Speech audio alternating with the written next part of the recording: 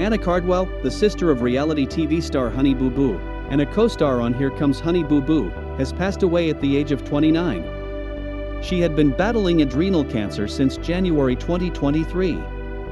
The sad news was shared by her mother, Mama June Shannon, in an Instagram post. Anna Cardwell peacefully passed away at her mother's home in Milledgeville, Georgia, at 11:12 p.m. on Saturday night.